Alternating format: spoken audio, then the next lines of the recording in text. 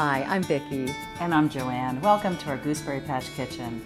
Today we are going to be making a harvest hot white chocolate that sounds and looks delicious. This recipe has pumpkin in it, which I think sounds very interesting. This recipe is from our Hometown Harvest Cookbook and was shared with us by Crystal Shook of Catawba, North Carolina. Crystal tells us that her daughter asks for this recipe all year long. I can't wait to try this recipe, so let's get started.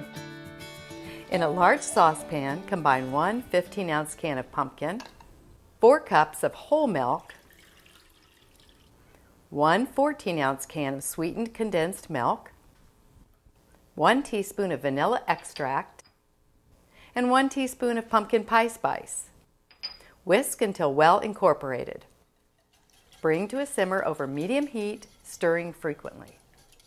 Add one and one quarter cups of white chocolate chips. Stir until melted. Pour into mugs. Garnish with whipped cream. Sprinkle with pumpkin pie spice if you like. And add a cinnamon stick for stirring. Boy, this looks delicious, oh doesn't it? Look gosh. at that color. I love it. Oh, Perfect. it's beautiful. Mm. Ooh, a little on your you like to do that for I that did that on second time around. I know you did. It is so yummy and creamy.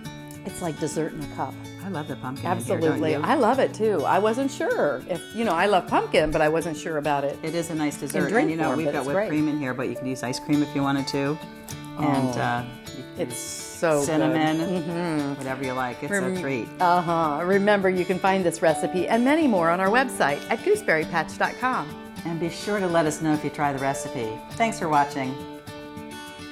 Boy, this is good. This is this is a dessert. This you couldn't have much more. Can you imagine this with a brownie or something? You'd be.